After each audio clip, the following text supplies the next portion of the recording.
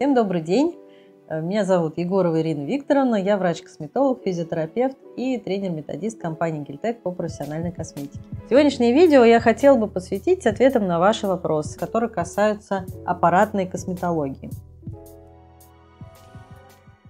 Вопросы подписчиков с YouTube, за которые мы вам очень признательны, а, вопросы наших клиентов, которые покупают э, нашу косметику у косметологов, э, на маркетплейсах. Эти вопросы я сгруппировала в такой топ-5 наиболее часто встречающихся и постараюсь на них э, подробно ответить. Первый вопрос звучит так, я зачитаю. Аппараты для домашнего применения с функцией микротоковой терапии, МС, то есть электромиостимуляции, РФ-лифтинга, массажеры, так называемые, что а, в качестве контактной среды под эти аппараты из наших гелей лучше выбрать. То есть это а, аппараты, которые сертифицированы как бытовые и могут э, спокойно использоваться в домашнем уходе. Как, собственно, мы подбираем средства контактные под такие аппараты? Понятно, что совсем провести полностью параллель между профессиональным оборудованием с таким же названием функций и э, бытовым оборудованием нельзя. Массажеры домашние, они более безобидные. И требования, например, у профессионального оборудования к какому-то контактному средству, они могут э, не всегда соответствовать э, требованиям к гелю, который используется с массажером. А какие я бы выделила основные требования к контактной среде? Э, в первую очередь, естественно, это должно быть гелевое средство, которое будет проводить и электрический ток, и ультразвук. Ультразвук проведет любой гель, не очень критичная электропроводность, а для электрического тока желательно, чтобы еще электропроводность была хорошей. Наши гели все соответствуют а, аппаратным методикам, да, применению в них, поэтому можно взять любой. Как же нам, собственно, их выбирать? По показаниям, если у человека, например, обезвоженная кожа, мы ищем компоненты, которые э, обеспечивают глубокое и быстрое увлажнение. Например, ультра- и низкомолекулярная форма гиалуроновой кислоты, пептидные компоненты, улучшающие транспорт влаги между дермой и эпидермисом, например, пептид дифупарин, как вот в нашей сыворотке 3D-увлажнения. То есть, если мы хотим э, взять препарат, например, с низкомолекулярной гиалуроновой кислотой, это будет гель-концентрат с низкомолекулярной гиалуроновой кислотой. Если мы хотим добавить в кожу антиоксидантов, сделать ее более живой, то есть поработать с усталой кожей, то тогда мы выберем гель, например, антивозрастной Нео с э, липосомальным дигидрокверцетином, с антиоксидантами в составе другими, то есть витамин С, экстракт планктона, зеленого чая тоже выполняет функцию антиоксидантов. И этот препарат мы можем использовать вообще на самом деле как наиболее универсальный из нашей линейки, практически под любой э, такого плана домашний э, массажер. Также есть, э, естественно, гели с сосудоукрепляющими компонентами, которые улучшают микроциркуляцию. Их хорошо использовать, если, например, какие-то сосудистые проблемы или атоничная тусклая кожа, та же самая. То есть всегда ищем те компоненты, которые решают какую-то определенную проблему и, соответственно, их используем аппараты с самоклеющимися электродами, а там Амрон Е3. Да? А какой гель можно использовать под эти аппараты? Я могу сразу сказать, что никакой.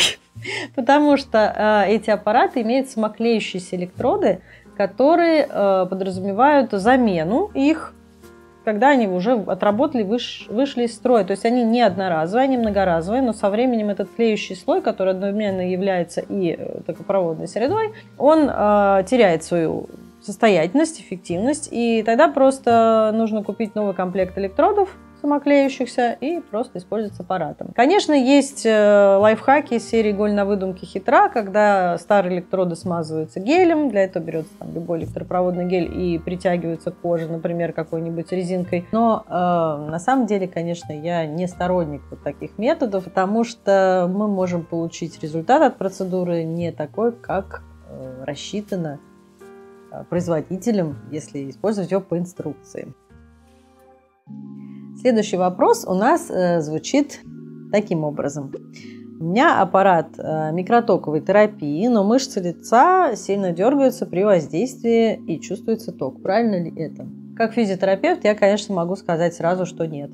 Потому что микротоковая терапия предполагает воздействие в микроамперном диапазоне тока, а в микроамперном диапазоне человек у нас электрический ток не воспринимает. Поэтому, если мышцы дергаются, значит, это уже некое подобие электромиостимуляции. Если это именно микротоковая терапия, вы хотите получить э, действие нейроподобными токами, сила тока должна быть не выше 500-600 микроампер, а лучше, чтобы она была еще ниже, то есть оптимальный вариант это 60-100 микроампер воздействия. Но не всегда аппараты, конечно, которые продаются на рынке, соответствуют э, классическим параметрам, поэтому если вы видите, что человек чувствует электрический ток и мышцы еще и дергаются, то это, конечно, не классическая микротоковая терапия и вообще не микротоковая терапия, а некое подобие электромиостимуляции. Следующий вопрос касается ультразвукового скрабера. Чаще всего спрашивают, конечно, банальные вещи, а там, можно ли его перевернуть, эту лопатку, сделать фанфорез, но я думаю, что об этом вы уже все прекрасно знаете, об этом уже говорено и переговорено, что скрабер не годится для фанфореза. Если э, вы хотите подробнее об этом узнать, посмотрите наши видео, касающиеся ультразвуковой чистки, касающиеся применения ультразвука в косметологии, там я все очень подробно рассказываю. А здесь э, вопрос такой. Противопоказаниях к моему ультразвуковому скраберу было написано, что сухая, чувствительная или увядающая кожа является противопоказанием для ультразвуковой чистки. Правда ли это? А, честно сказать, не знаю, что это был за аппарат и что за инструкция к нему. Может быть, э, просто ее неправильно перевели с китайского. Но а, на самом деле ультразвуковая чистка изначально была придумана для людей с чувствительной кожей, потому что их невозможно было обрабатывать средствами на основе кислот, на основе, возможно, энзимов, которые могут обладать раздражающим действием, и стал использоваться низкочастотный ультразвук, э, то есть э, более щадящий, нейтральный, разрыхляющий гель, а наш гель для, для дезинкрустации или какой-то гель просто алоэ вера да, наносится на кожу, она разрыхляется под пленочкой, и потом при помощи ультразвукового скрабера верхний слой роговевших частичек снимается очень щадяще, не раздражая кожу, потому что само средство разрыхляющее, например, оно э, практически не содержит никаких э, агрессивных компонентов. Поэтому нет, я считаю, что можно использовать, конечно, ультразвуковой скрабер с щадящими разрыхляющими средствами в комплекте для ультразвуковой чистки. И последний вопрос, на который я хотела бы ответить. Когда можно начинать э, проводить аппаратные процедуры после того, как мы сделали лазерную шлифовку? Правда, тут не уточнено, какие. На самом деле, это такой, может быть, даже немножко собирательный вопрос. Очень часто задают, можно ли пользоваться такой-то процедурой, такой-то процедурой, да, использовать такие-то аппараты. Сразу могу сказать, что любая методика аппаратная, которая предполагает контактное воздействие на кожу, она э, разрешена только тогда, когда кожа не имеет каких-то повреждений. То есть если на коже есть э, большое количество высыпаний, есть ссадины, есть э, незажившие результаты агрессивной процедуры, большинство контактных методик делать нельзя.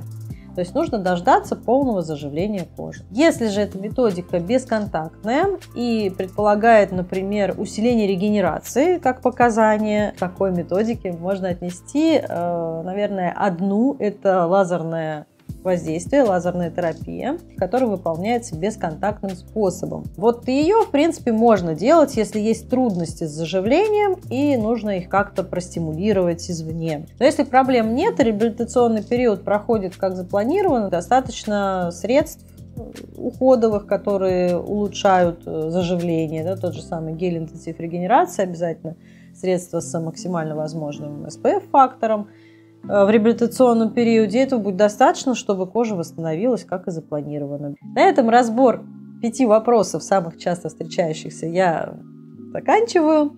Буду очень признательна, если вы будете задавать еще какие-то вопросы в комментариях, и мы разберем еще какие-то интересующие вас темы. Также буду очень признательна, если вы поставите лайк, подпишитесь на канал. Это поможет продвижению нашего канала, и мы будем с радостью новые-новые темы для вас озвучивать интересные.